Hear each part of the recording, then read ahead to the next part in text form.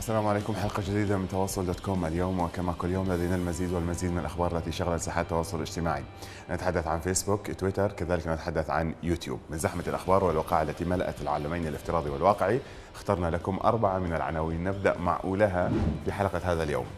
بعد إطلاقهم مواقف نارية تحتج على لف طالباني بالعلم الكردي الكاميرا تكذب الغطاس من الساسة العراقيين. وفي عنواننا الثاني مياه يفترض أنها مصفاة وجاهزة للشرب. تملأ خزانات الناس في الكوفة تملأها بالطحالب وتملأها بالطين. وفي عنواننا الثالث نتيجة كارثية أو عفوا نتيجة كارثية الخدمات المقدمة. في المشافي الحكومية المواطن العراقي يتحول إلى المواطن الصحفي ويوثق هذه الكوارث.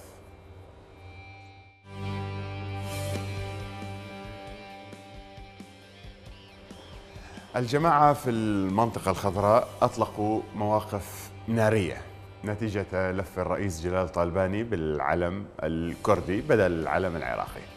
الجماعة قالوا أنهم انسحبوا غاضبين زعلانين محتجين. نسمع أحد هذه المواقف الجميلة.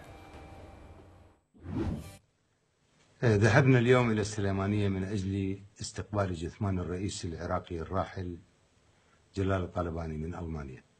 وبعد وصولنا إلى مطار السليمانية وبدء مراسم التشييع فوجئنا بلف علم الإقليم حول جثمان الرئيس الطالباني وليس العلم العراقي.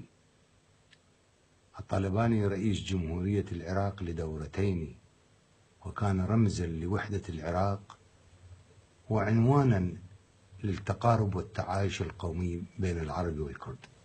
ولكن مع الأسف خانه بعض العنصريين الكرد بلف علم الإقليم حول جثمانه مما اضطرنا إلى الانسحاب وعدم المشاركة في صلاة الميت ومراسم الدفن للرئيس الراحل جلال الطالباني عاشت الوحدة العربية الكردية وليخسأ العنصريون من الكرد والعرب الذين يعملون على شق اللحمة الوطنية العراقية. موقف قوي من السيد موفق الربيعي. ليهنأ العراق حقيقة بهكذا رجال الشداء فيما يتعلق بثوابت العراق القومية. لكن لكن الربيعي موفق الربيعي وغيره مثل هادي العامري وأبو مهدي المهندس شخصيات ائتلاف دولة القانون يبدو أنهم نسيوا أن هناك اختراعا اسمه ماذا؟ الكاميرا. بكل بساطة. الكاميرا هذه قوم هل تعلمون هذا الاختراع؟ هناك اختراع في الحياة اسمه كاميرا. توثق اللقطات يعني بواسطة الكاميرا نعرف من حضر ومن غاب. نحن لا نعيش في يعني غابات الأمازون. نشاهد.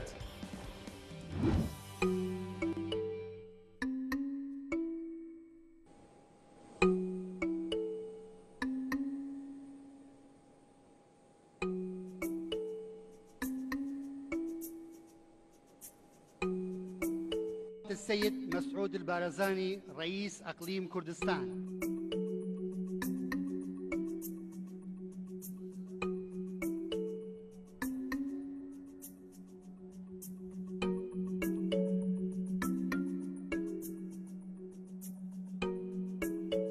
السيد دكتور سليم الجبوري رئيس مجلس نواب العراق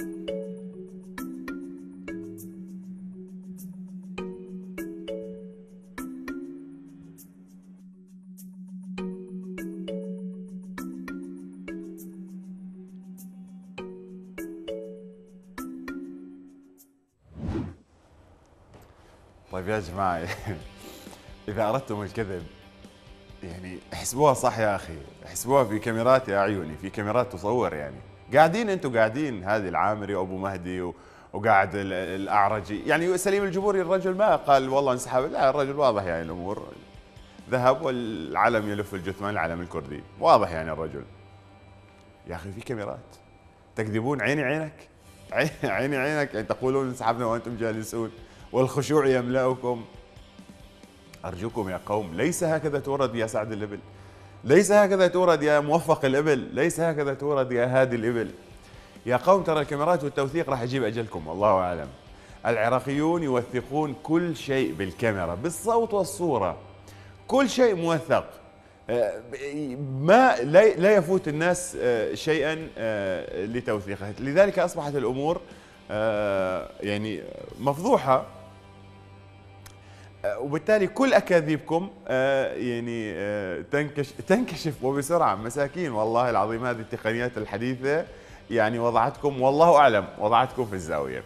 طيب نشاهد أحد حالات التوثيق العراقي كثيرة بالمناسبة. العراقي الآن آه، يوثق أي شيء كل شيء. نشاهد أحد هذه يعني حالات التوثيق. على سبيل المثال للحصر في الكوفة.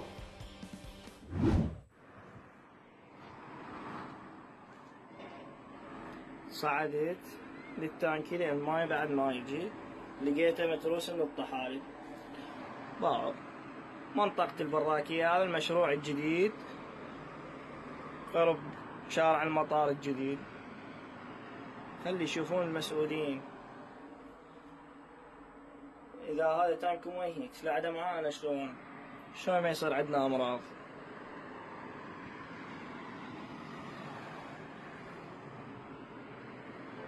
يشهد الله هذا التانك اللي نستخدمه. ما أدري صعدت لقيته هيك.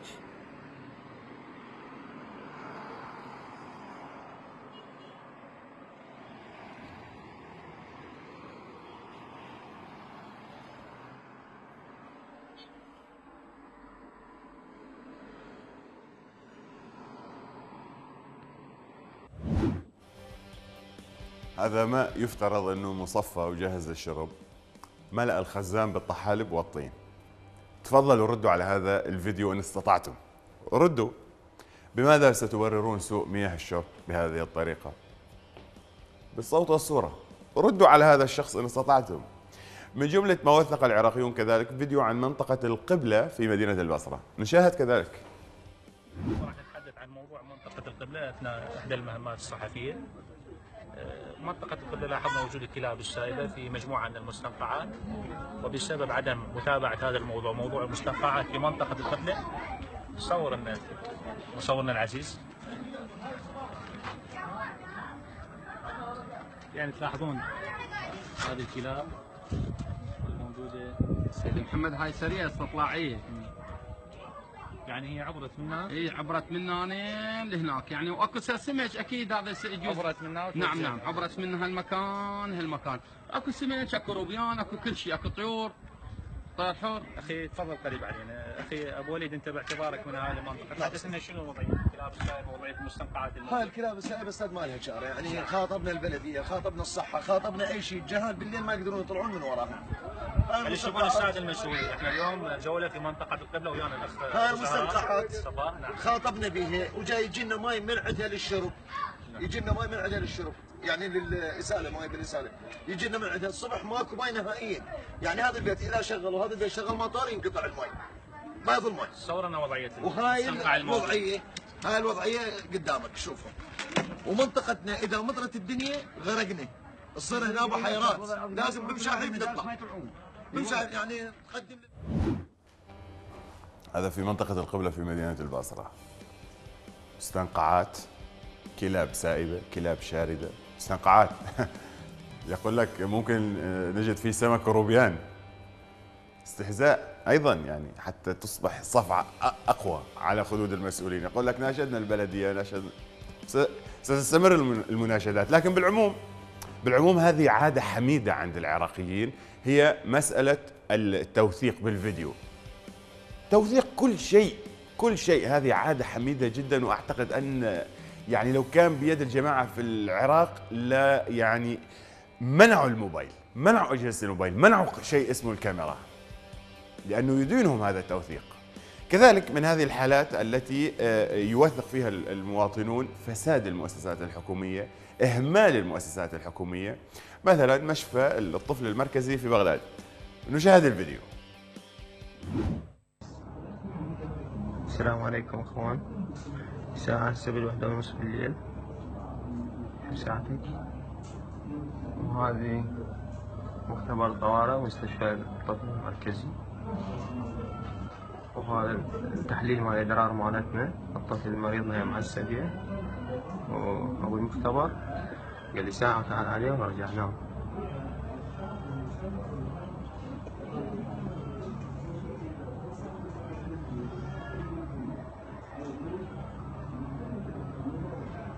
ورجعنا معه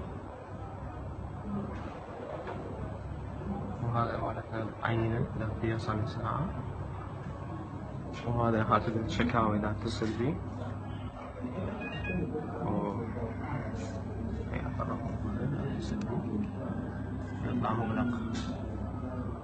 الطفل مالتنا حالته كلش حرجة.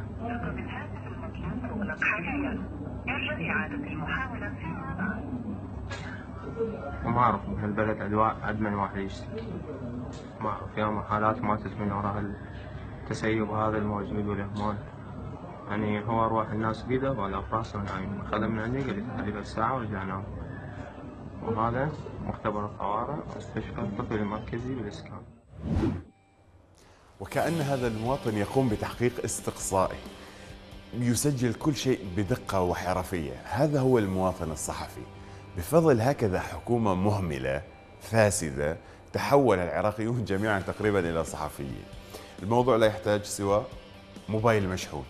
فقط فقط موبايل مشحون في الجيب تتحول إلى مواطن صحفي ويمكن أن تغير رأي عام، يمكن أن تؤثر في الرأي العام، يمكن أن تحدث بلبلة. لأنه ما أكثر من حالات الفساد هذه في العراق، يعني هذا مختبر هذا الرجل حالة طارئة مع طفله وين أبو المختبر؟ لا أحد يعلم. لا الطريف إنه الرقم الموضوع يعني الاتصال في آه، في حال وجود شكوى أو مشكلة هذا مكتب الرقم المكتب المفتش العام مغلق الرقم. ليش حاط الرقم؟ مغلق. مغلق الرقم. والله العظيم هذا من المضحكات ال- المبكيات. أيضا يعني في ذات السياق الطبي آه، لأن واقع المشافي العراقية الحكومية كارثي كارثي. شاهدوا حلم هذا العراقي. السلام عليكم. شو أخباركم شباب؟ شلونكم؟ طبعا أنا هسه احد المستشفيات ما اريد أجيب اسمها. زوجتي خربطت. المهم جبتها للمستشفى أنا كمواطن عراقي واحلم حلم وكل الموجودين بالعراق يحلمون هذا الحلم اللي أحلمه أنا. ان يجي مريض للمستشفى يعني أتمنى تلقاني ممرض باسلوب حلو. زين أتمنى من أجي مريض جايبه على العربانة أو شايله بإيدي زين ما اظل اتنقل بيه روح والله هناك أروح أفحص الضغط مالته وهنا أروح أفحص السكر مالته وهنا أقعد. زين قبل شوي أنا طبعا بالمستشفى هواي حالات شفت. والله روحي لعبت كلش وإنه لو ما يعني مثل ما تقولون أكو ناس يعني ما عندها ناس ما عندها كان راحت المستشفيات الأهلية. زين ليش مستشفيات الأهلية معاملتهم كل زينة؟ من أول ما تطب للباب لحد ما تطلع من من تنظيف من خدمات. من حكي من آه، نصائح من كل شيء. زين؟ ليش مثلا؟ شنو السبب يعني المستشفيات الأهلية موجودة؟ عندنا بالمستشفيات الحكومية للأسف ما عندهم يعني مثلا ذولاك عندهم رواتب ذولا ما عندهم رواتب.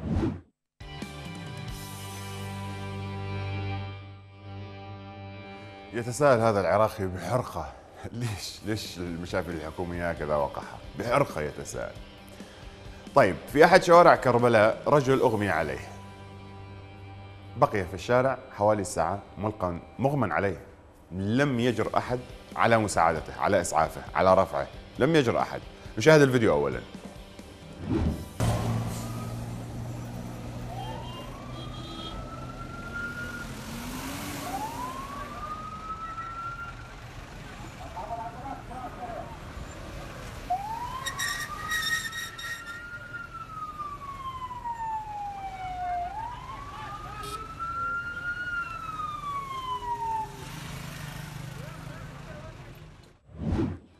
لم يجرؤوا على رفعه.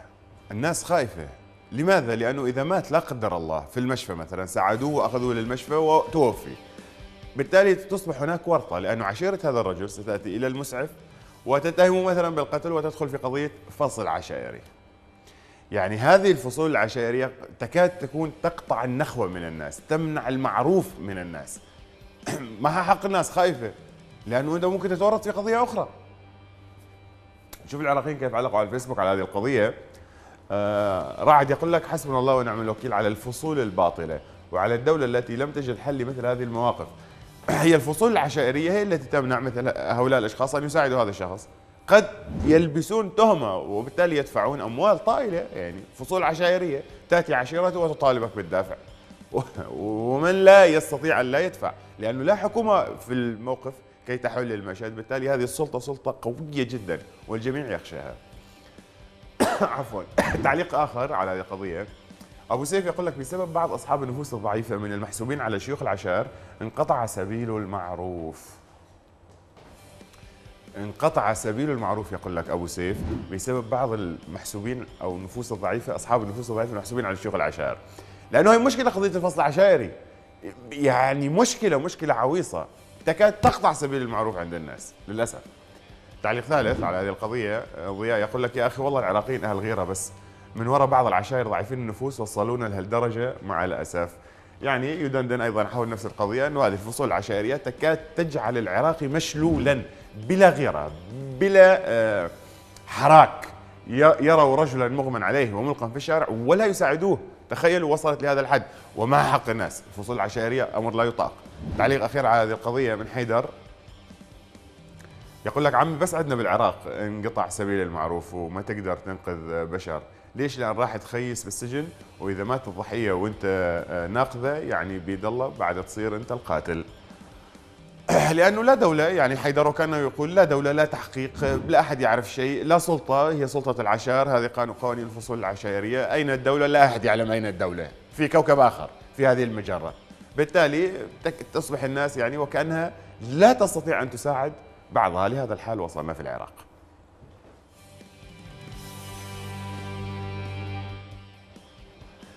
الحشد المقدس. أين؟ في قائمة العار. الأمم المتحدة دخلته في قائمة العار. نعيما. هذا ال- ال- الهاشتاج على التويتر. لقي تفاعلا صدا كبيرا. طبعا جرائم الحشد يعرفها القاصي والداني. إذا كانت الأمم المتحدة للأمس حتى عرفت هذه جرائم الحشد قال إن كنت تدري فتلك مصيبة وإن كنت لا تدري. فالمصيبة أعظم وأيتها الأمم المتحدة. شاهد عراقيين كيف غردوا على تويتر على هذا الهاشتاج الحشد في قائمة العار. آه، الأستاذ حسين دلي يقول لك القرار الأممي هو استجابة للضغوط الشعبية والانتقادات لتجاهل المجتمع الدولي جرائم الحشد الذي تدعمه حكومة حيدر العبالي طيب جميل يعني هو يعني أن تصدر قرارا متأخرا خير من أن لا تصدر قرارا أبدا. يعني من هذا الباب جيد جيد يعني جيد. الحشد ارتكب فظائع. فظائع ولا أحد يجرؤ. يعني لا أحد ينتقده لماذا والله الحشد يحارب الإرهاب. طيب الإرهاب هو مع الأطفال والنساء. خلاص يحارب الإرهاب. تويتة ثانية على هذا الهاشتاج الحشد في قائمة العار. أحمد العراقي يقول لك على الأمم المتحدة أن لا تكتفي بهذا القرار المتأخر فقط وإنما محاسبة الحشد على ما فعله من جرائم وتدمير وسرقة. والله يا أحمد شوف إنه الأمم المتحدة تيجي تحاسب الحشد هذه أعتقد يعني لا أعلم.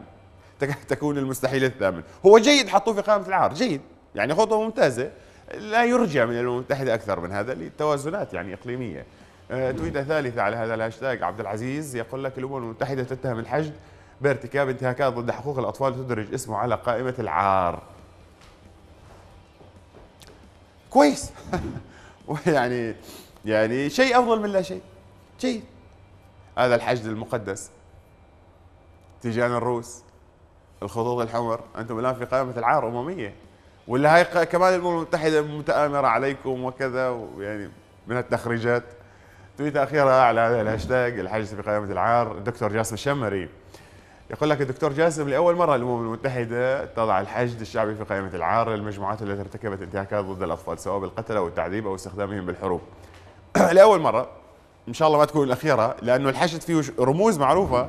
يعني يعني السادة المسؤولين في الحشد حجي أبو مهدي حجي هادي قيس الخزعلي كثر كثر يعني كثر كثر. لا تحضرني اسمائهم الجميلة الآن.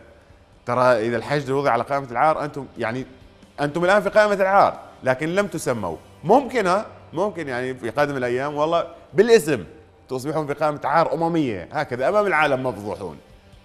أيها المقدسون.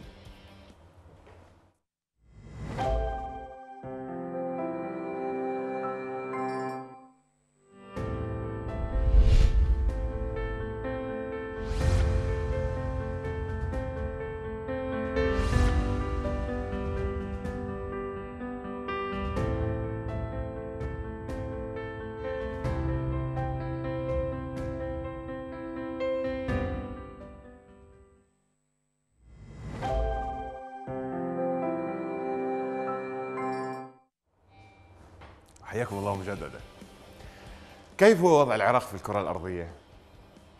سؤال صعب يعني أخبار العراق تملأ الدنيا هل هذه الأخبار تتناسب مع عدد سكانه بالنسبة لعدد سكان الأرض؟ هل هناك تجمع بشري بهذا العدد أخباره تملأ الأرض مثل ما تملأ الأرض أخبار العراق؟ نشاهد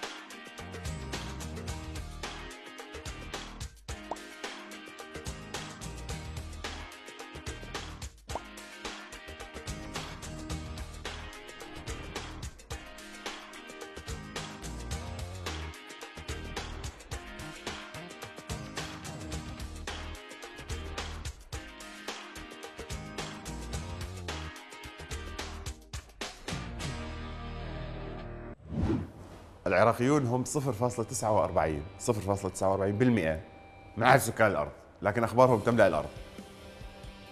لماذا؟ ربما هذا قدر العراق. يعني جغرافية العراق ثروات العراق. أمر حساس جدا حدود العراق حساسة جدا إمكانيات العراق ضخمة هائلة. العراق هذا العراق رمح الله في الأرض. لابد أن يتصدر تتصدر اخباره الأرض.